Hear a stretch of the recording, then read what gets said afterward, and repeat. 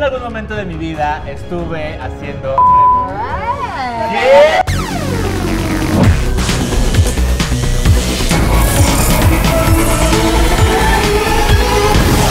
Hola Polinesios, ¿cómo están? Espero que estén súper bien el día de hoy. La verdad es que nosotros estamos muy, muy, muy felices.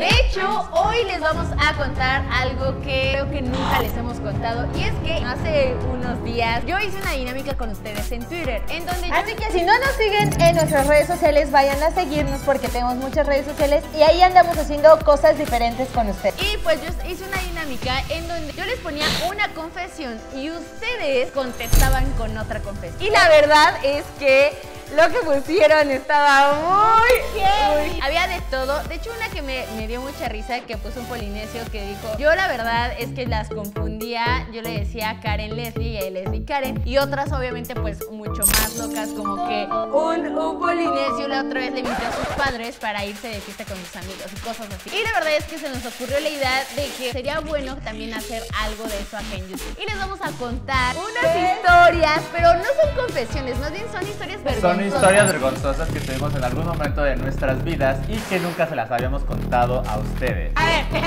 vamos a empezarle. Tienes que contarnos tu historia, pero antes, pero si es muy vergonzosa, tenemos algo para aliviarlo, ¿ok, Leslie? A ver, sí, o sea, yo soy una persona que suelo tener muchos osos en mi vida, pero les voy a contar mi último oso de la vida. ¿Ustedes se acuerdan que fuimos a Nueva York el día de mi cumpleaños? Sí. Y estuvimos mucho tiempo allá. ¿Ustedes se acuerdan a qué parque me encantaba ir? Sí, te gustaba ir a un parque de Nueva Sí, York. un parque de ah, Nueva York. Entonces, un día, un día de los muchos que fui, me senté por donde estaban patinando Ok. unos chicos. Y de repente, o sea, a ver, era verano y hacía calor. Entonces, los de patinaje estaban así sin playera, todos verdes y yo así Todos delis, a a a. Pues de repente yo estaba así viendo todo y había un chico que se me hacía súper atractivo. Dije, wow, este chico de dónde es? está guapísimo. Pero pues de repente mi hermana me marca, Ana Karen. Ay. Ay. como, Yo, hola Anita, ¿cómo estás? Y me dice, oye, ¿quieres comer conmigo? Y yo, no quería, bueno, sí quería, pero no, no me quería ir de ese parque. Quería pero- seguir viendo al chico que le no, gustaba. no, Pero tenía hambre. Ajá, pero tenía hambre. Prefirió irse a comer que seguir viendo. Ay, sí, pues dije, bueno, está bien, o sea, voy a alcanzar a mi hermana y en ese momento, a ver, paréntesis, Polinesios, yo soy una persona muy distraída, cuando camino, camino muy distraída, cerramos paréntesis. Entonces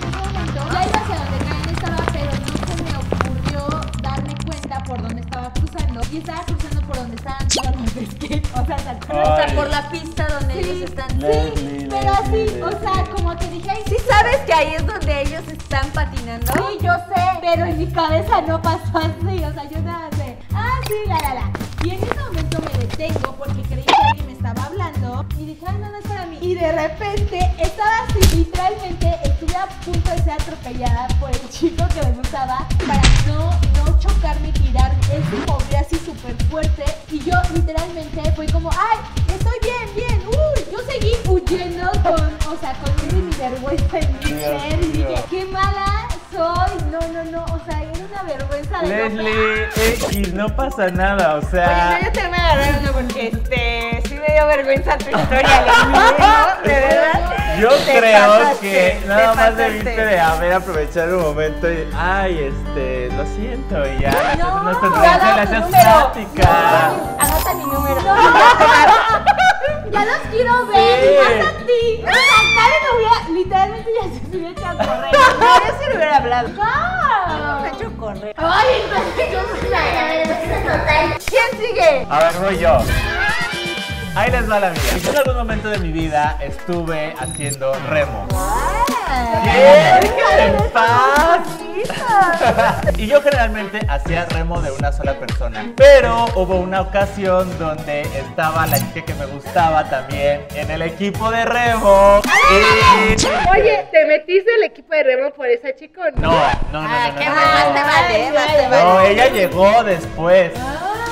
Y entonces había en remo individual de dos personas o de cuatro personas. Entonces yo dije, ay, si hacemos de dos personas, podría estar yo con ella. Entonces, Ahora sí, ahora sí quería, ¿no? ahora sí quería de dos sí quería personas. a alguien más. El punto es que ella era como de sus primeras clases Y yo le dije al profesor, oiga, ¿puedo hacer ahora el remo de parejas? Y me dijo, sí, claro. Nada más que ten cuidado porque es muy distinto. Le dije, sí, sí, sí. Ay, o sea, ¿qué, qué puede pasar, no? Entonces le digo a ella que si quiere ser mi pareja la canoa de remo y me dijo, sí, pero para esto es muy diferente cuando remas de una sola persona a cuando son dos o más personas porque todos tienen que ir coordinados. Si no vas coordinado es un problema gigantesco y ahorita vas a saber por qué. Entonces empezamos de verdad a arrancar, fue muy difícil para nosotros porque no nos estábamos coordinando. Ya cuando lo logramos ya estábamos así, vuelo agarrado. Dije, ah, sí, ahora sí voy a, así como, voy a echarle fuerza para que vea, ¿no? Así.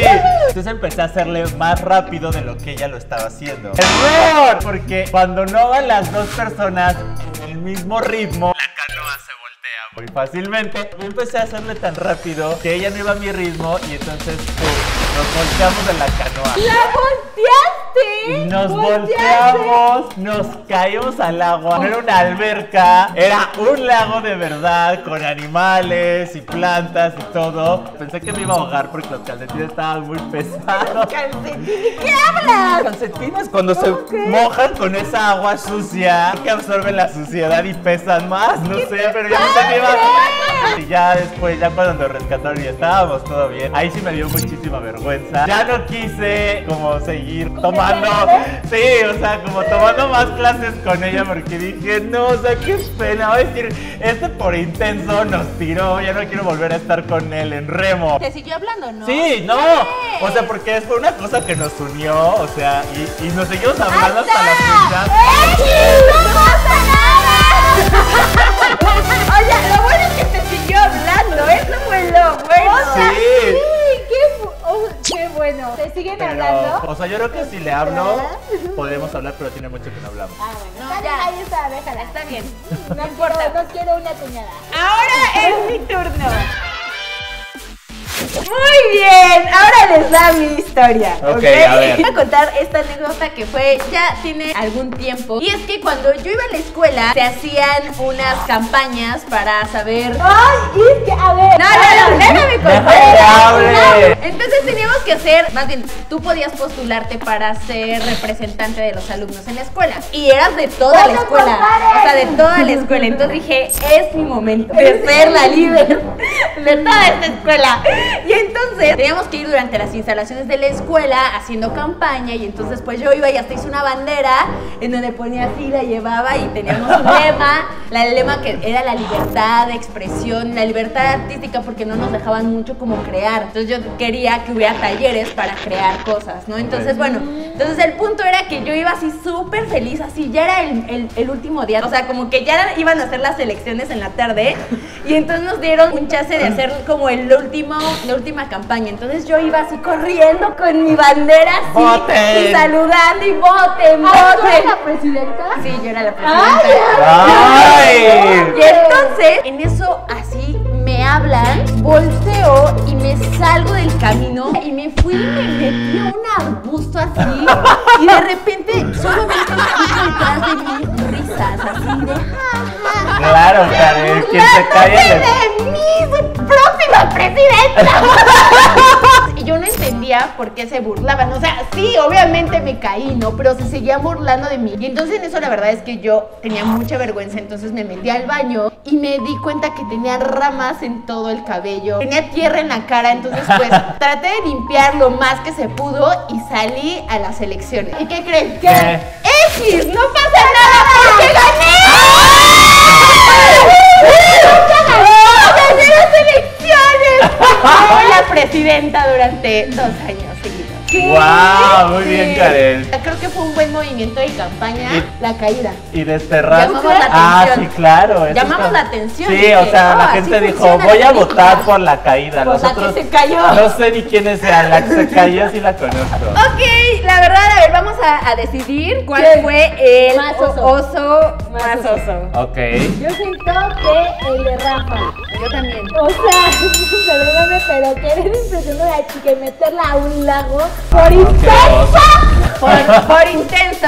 Por inicios, ustedes pongan en los comentarios algún oso que ustedes hayan tenido para estarlos leyendo, porque la verdad es muy divertido Uy. leer ese tipo de anécdotas.